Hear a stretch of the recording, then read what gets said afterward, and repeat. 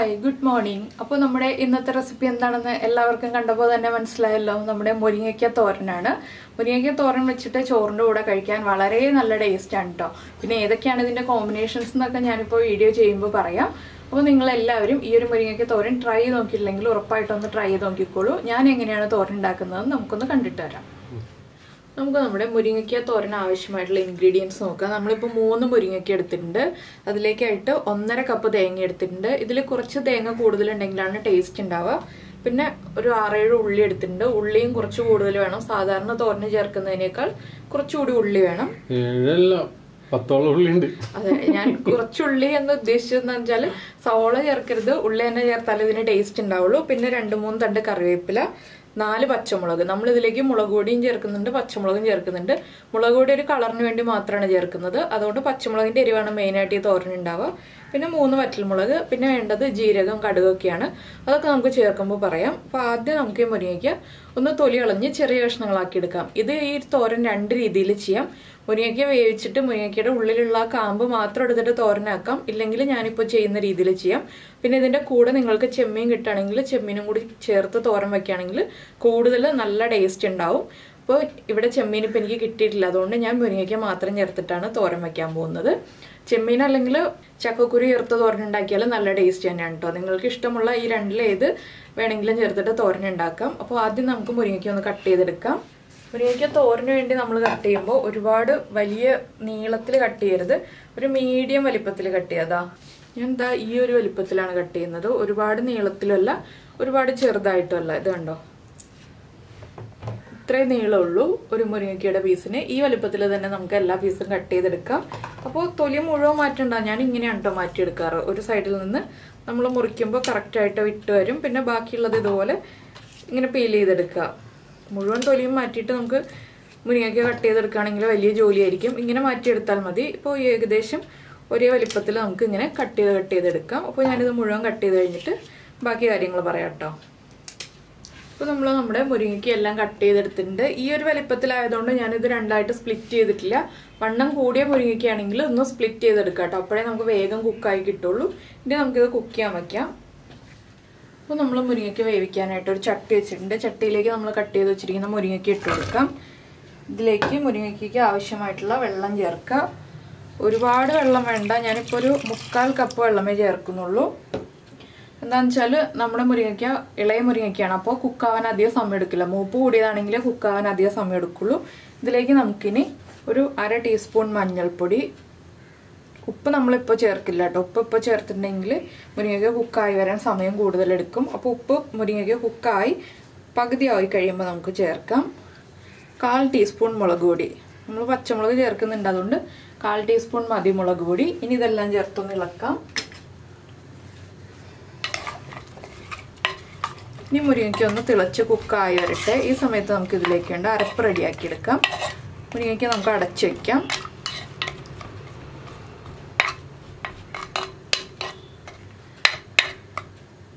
അപ്പോൾ നിങ്ങൾ ചെമ്മീൻ ചേർക്കുന്നുണ്ടെങ്കിൽ ഈ ഒരു സമയത്ത് ചേർക്കരുത്.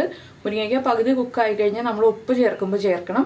അതുപോലെ ചക്കക്കുരുവാണ് ചേർക്കുന്നതെങ്കിൽ ചക്കക്കുരു വേറെ വേവിച്ചിട്ട് വേണം ചേർക്കാനായിട്ട്. മുരിങ്ങയ്ക്കയുടെ കൂടെ ഇട്ടിട്ടുണ്ടെങ്കിൽ ചക്കക്കുരുവിന് വേവ് കൂടുതലുള്ളതാണ്. അപ്പോൾ ചക്കക്കുരു കുക്കാവില്ല.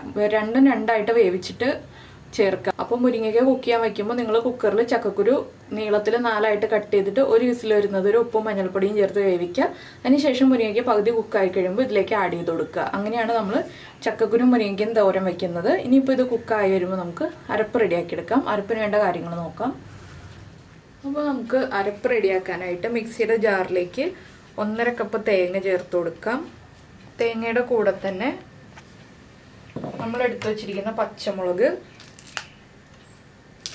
പച്ചമുളക് നിങ്ങളുടെ എരിവനുസരിച്ച് വ്യത്യാസം വരുത്താം കേട്ടോ ഞാനിപ്പോൾ നാലെണ്ണം ചേർക്കുന്നു എന്ന് പറഞ്ഞിട്ട് നിങ്ങൾക്ക് നാലെണ്ണം തന്നെ ചേർക്കണം എന്നൊന്നുമില്ല ഒരു രണ്ട് മൂന്ന് ഇതിൽ കറിവേപ്പില. ഇനി നമുക്ക് ചേർക്കാനുള്ളത് അര ടീസ്പൂൺ ജീരകം. ചെറിയ ജീരകമാണ് നമ്മൾ ക്യൂമിൻ സീഡ്സ് എന്ന് പറയുന്ന ജീരകം. അപ്പോൾ ജീരകം എന്ന് മാത്രം പറയുമ്പോൾ ചില ആളുകൾക്ക് മനസ്സിലാവില്ല. അതുകൊണ്ടാണ് ഞാനിങ്ങനെ രണ്ടുപേരും പറയുന്നത്. ഇനി ഇതൊന്ന് ക്രഷ് ചെയ്തെടുത്തിട്ട് നമുക്ക് ഇതിലേക്ക് ഉള്ളി ചേർക്കാം. ആദ്യമേ ഉള്ളി ചേർത്തിട്ടുണ്ടെങ്കിൽ ഉള്ളി അരഞ്ഞു പോകും. അതുകൊണ്ടാണ് നമ്മളിപ്പോൾ ഉള്ളി ചേർക്കാത്തത്. ജസ്റ്റ് ഒന്ന് ക്രഷ് ചെയ്തെടുക്കുക. അതിന് ശേഷം നമുക്ക് ഉള്ളി ചേർത്തിട്ട് മിക്സ് ചെയ്യാം. ഇപ്പോൾ നമ്മൾ നമ്മുടെ തേങ്ങ ഒന്ന് ക്രഷ് ചെയ്തെടുത്തിട്ടുണ്ട് ഇത് കണ്ടോ? ഇതുപോലെ ആയിട്ടേ ഉള്ളൂ. ഇതിലേക്ക് നമുക്ക് നമ്മൾ എടുത്തു വെച്ചിരിക്കുന്ന ഉള്ളിയും കൂടി ചേർക്കാം. അപ്പോൾ നമ്മൾ മഞ്ഞൾപ്പൊടിയും മുളക് പൊടിയും മുരിങ്ങയ്ക്കയിലേക്ക് ചേർത്തതുകൊണ്ട് ഇനി നമ്മൾ അരപ്പിലേക്ക് മഞ്ഞൾപ്പൊടിയും മുളക് പൊടിയും ചേർക്കേണ്ട ആവശ്യമില്ല. ജസ്റ്റ് ഈ ഉള്ളി ഒന്ന് ഒന്നൊന്ന് ചതഞ്ഞ് കിട്ടിയാൽ മതി. ഒരുപാട് അരഞ്ഞു പോകരുത്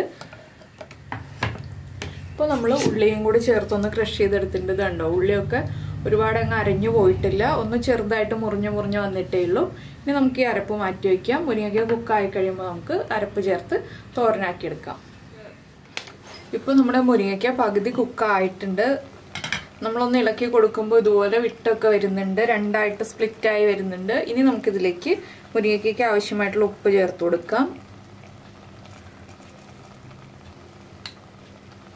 ഉപ്പ് ചേർത്തൊന്ന് ഇളക്കി മിക്സ് ചെയ്യുക ഇനിയിപ്പോൾ കുറച്ച് വെള്ളമേ ഉള്ളൂ. ഈ വെള്ളത്തിൽ ഉപ്പും കൂടി ചേർന്ന് നന്നായിട്ടൊന്ന് കുക്കായി വരട്ടെ. കറക്റ്റ് പാകത്തിന് കുക്കായി വരട്ടെ. അതിന് ശേഷം നമുക്ക് ഈ ചട്ടിയിൽ തന്നെ അരപ്പ് ചേർക്കാം. ഞാൻ ഈ ചട്ടിയിൽ തന്നെയാണ് അരപ്പൊക്കെ ചേർക്കുന്നത്. നിങ്ങൾക്ക് ചീനച്ചട്ടിയിൽ കടുക് വറുത്തിട്ട് അതിലേക്ക് അരപ്പ് ചേർക്കണമെങ്കിൽ അരപ്പ് ചേർക്കാം. ഞാനിപ്പോൾ അരപ്പ് ചേർത്തതിന് ശേഷം ലാസ്റ്റാണ് വറവ് ചേർക്കാൻ പോകുന്നത്. ഇനിയിപ്പോൾ ഇതൊന്നും കൂടി ഒന്ന് കുക്കായി വരട്ടെ. വെള്ളം ഒരു എൺപത് ശതമാനം വറ്റി വരണം. കുറച്ച് വെള്ളം ഉണ്ടെങ്കിലും കുഴപ്പമില്ല. നമ്മുടെ അരപ്പ് കുക്കാവാനുള്ളതാണ്. വീണ്ടും നമുക്ക് വെയിറ്റ് ചെയ്യാം. അപ്പോൾ നമ്മുടെ മുരിങ്ങയ്ക്ക കുക്കായി കഴിഞ്ഞിട്ടുണ്ട്. കുറച്ച് വെള്ളമുണ്ട്. അത് കുഴപ്പമില്ല. നമുക്ക് അരപ്പ് വേവിക്കാനുള്ളതാണ്. അപ്പോൾ നമുക്ക് ഈ മുരിങ്ങയ്ക്ക ഒരു സൈഡിലേക്ക് നീക്കിയിട്ട് നമ്മൾ ഒതുക്കി വെച്ചിരിക്കുന്ന അരപ്പ് ചേർക്കാം.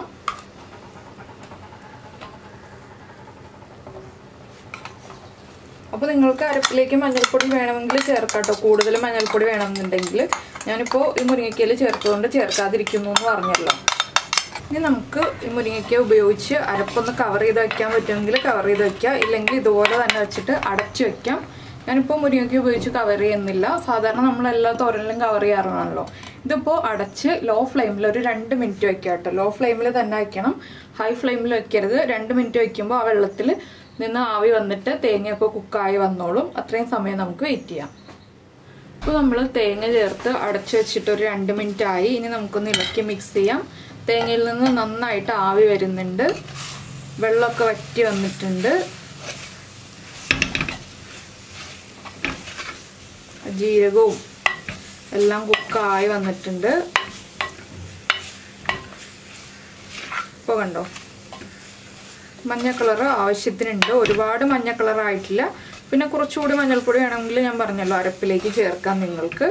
ഞാനിപ്പോൾ ഒരുപാട് മഞ്ഞ കളറുള്ള രീതിയിലല്ല ഈ തോരൻ ചെയ്യുന്നത്. നമ്മുടെ ഉള്ളിയും ജീരകവും മുരിങ്ങയ്ക്കയും എല്ലാം നന്നായിട്ട് കുക്കായിട്ടുണ്ട് ഇനി നമുക്കിതൊന്ന് ഉപ്പ് ചെക്ക് ചെയ്ത് നോക്കാം. ഉപ്പ് കുറവാണെങ്കിൽ ഉപ്പ് ആഡ് ചെയ്ത് കൊടുക്കണം. ഈ ഒരു സ്റ്റേജിൽ തന്നെ. എന്താണെന്ന് വെച്ചാൽ ഉപ്പ് പിടിക്കാൻ പിന്നെ ബുദ്ധിമുട്ടായിരിക്കും. അപ്പോൾ ഞാനൊന്ന് ഉപ്പ് നോക്കട്ടെ. ഉപ്പൊക്കെ കറക്റ്റ് ആയിട്ടുണ്ട്. എരിവും കറക്റ്റാണ് ഇനി നമുക്കിതിലേക്ക് വറവ് ചേർക്കാം. ചട്ടി മാറ്റി വെച്ചിട്ട് നമുക്ക് വേറൊരു പാൻ വയ്ക്കാം അപ്പോൾ ഞാൻ എന്താ വേറൊരു പാൻ വെച്ചിട്ടുണ്ട്. ഈ പാൻ ഒന്ന് ചൂടായി വരട്ടെ. അപ്പോൾ നമ്മുടെ പാൻ ചൂടാവുന്നുണ്ട്. നമുക്കിതിലേക്ക് വെളിച്ചെണ്ണ ചേർത്ത് കൊടുക്കാം. അപ്പോൾ വെളിച്ചെണ്ണ ചൂടായി കഴിയുമ്പോൾ നമുക്ക് ബാക്കിയുള്ള ഇൻഗ്രീഡിയൻസ് ആഡ് ചെയ്യാം. അപ്പോൾ നമ്മുടെ വെളിച്ചെണ്ണ ചൂടായി വന്നിട്ടുണ്ട്. നമുക്കിതിലേക്ക് ഒരു അര ടീസ്പൂൺ കടുക് ചേർക്കാം.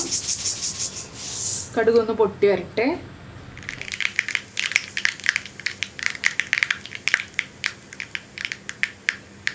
അപ്പോൾ നമ്മുടെ കടുക് പൊട്ടി കഴിയുന്നുണ്ട്. നമുക്ക് ഇതിലേക്ക് വറ്റൽമുളക് ചേർക്കാം.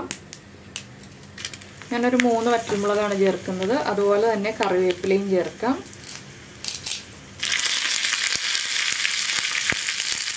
ഇനി നമുക്കിത് നമ്മുടെ തോരനിലേക്ക് ചേർത്ത് കൊടുക്കാം. ഇനി നമ്മുടെ വറവ് ചേർത്തിട്ട് നമുക്ക് നന്നായിട്ടൊന്ന് ഇളക്കി മിക്സ് ചെയ്തെടുക്കാം. അപ്പോൾ നമ്മുടെ തോരന്റെ ടേസ്റ്റ് വീണ്ടും കൂടും. ഇതിൽ അത്യാവശ്യം കടുകൊക്കെ ഉണ്ടെങ്കിലാണ് കേട്ടോ ടേസ്റ്റ് ഉണ്ടാവുന്നത്. അല്ലാതെ കുറച്ച് കടുക് ചേർത്തിട്ടുണ്ടെങ്കിൽ ടേസ്റ്റ് അത്ര പോരാതെ വരും.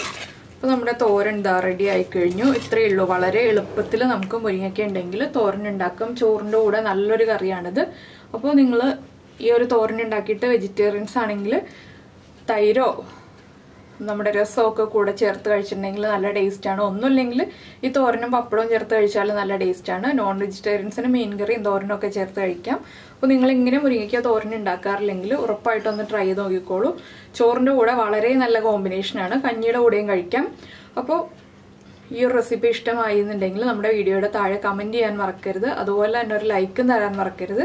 പിന്നെ നമ്മുടെ വീഡിയോ ഇഷ്ടമായി എന്നുണ്ടെങ്കിൽ നമ്മുടെ വീഡിയോ പ്രസന്റ് ചെയ്യുന്ന രീതിയൊക്കെ ഇഷ്ടമായി എന്നുണ്ടെങ്കിൽ നിങ്ങളുടെ ഫ്രണ്ട്സിനും ഫാമിലി മെമ്പേഴ്സിനും ഒക്കെ ഒന്ന് ഷെയർ ചെയ്ത് കൊടുക്കുക നമ്മുടെ റെസിപ്പീസ് അതുപോലെ തന്നെ നമ്മുടെ ചാനൽ ആദ്യമായിട്ട് കാണുകയാണെങ്കിൽ നമ്മുടെ ചാനൽ ഒന്ന് സബ്സ്ക്രൈബ് ചെയ്യുക. സബ്സ്ക്രൈബ് ചെയ്യുന്നതിന് ഈ വീഡിയോയുടെ താഴെയുള്ള റെഡ് സബ്സ്ക്രൈബ് ബട്ടൺ ഒന്ന് ക്ലിക്ക് ചെയ്യുക. അതിന്റെ റൈറ്റ് സൈഡിലുള്ള ബെല്ലൈക്കണും ക്ലിക്ക് ചെയ്യുക.